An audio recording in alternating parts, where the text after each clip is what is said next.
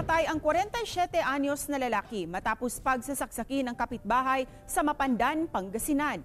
Insidente sa pool sa CCTV. Tutukan sa report ni Claire Lacanilaw ng GMA Regional TV 1 North Central Luzon.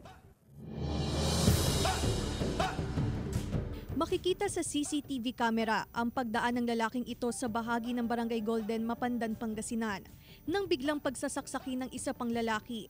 Natumba ang biktima at pinagtatadyakan ng sospek. Pero tuloy-tuloy pa rin sa pananaksak ang sospek. Nasawi ang biktima na si Raul Velasco na nagtamo ng matitinding sugat sa iba't ibang bahagi ng katawan. Nakilala naman ang 47 anyos na sospek na si Alfredo Cervantes, na kapitbahay ng biktima. Uh, Based sa investigation natin, uh, meron na silang dating uh, alitan.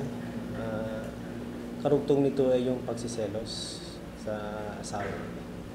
So hanggang hindi natis nung tao, talagang, nag, talagang ano, intentional niya talaga na gawin yung mga bagay yun.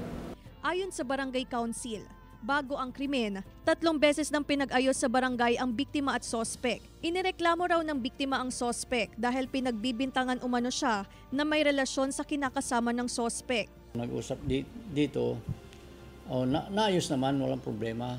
Kasi nga tungkol doon sa, may nagbubulong daw doon sa suspect na babae daw nung ah, victim. O, nagkaayos sila rito dahil wala namang katotohanan. Tumanggi nang magbigay ng pahayag ang kaanak ng biktima. Naharap sa kaukulang kaso ang sospek na tumanggi ring magbigay ng pahayag. Mula sa GMA Regional TV 1 North Central Luzon, Claire Lacanilaw, nagbabalita para sa GMA Integrated News.